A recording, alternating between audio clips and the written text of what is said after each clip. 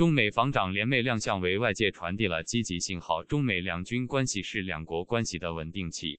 五月三十一日傍晚，在新加坡香格里拉酒店，中国国务委员兼国防部长魏凤和与美国代理国防部长沙纳汉举行了首次会晤。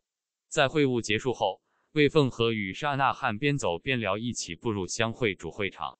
中美防长联袂亮相，为外界传递了积极信号。中美两军关系是两国关系的稳定器。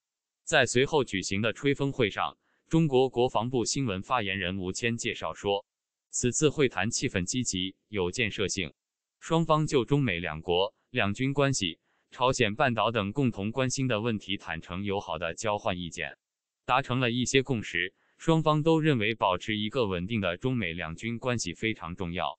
两军应落实两国元首的共识，深化交流合作，管控分歧风险，努力将两军关系打造成两国关系的稳定器。同时，魏凤和特别对沙纳汉强调了台湾问题。据吴谦介绍，魏凤和指出，近来美方在涉台问题上有一系列消极的言行，中方坚决反对。在维护国家主权和领土完整的问题上。美方不应低估中国军队的决心、意志和能力。在半岛问题上，双方都同意推动朝鲜半岛无核化，维护地区的和平稳定。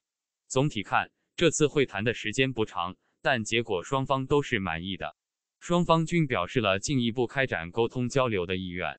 关于中美两军下一步的交流合作计划，双方将通过军事外交渠道保持沟通和协调。本期节目到此结束了。如果想获取更多内容，请订阅，谢谢。